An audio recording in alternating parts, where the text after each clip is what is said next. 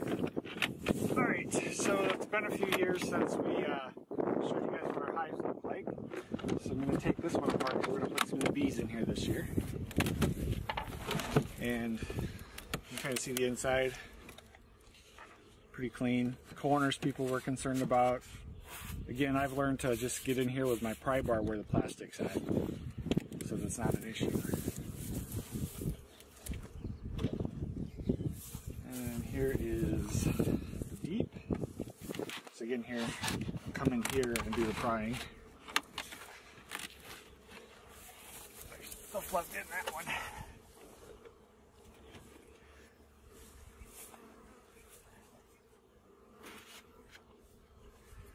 And here's the other deep.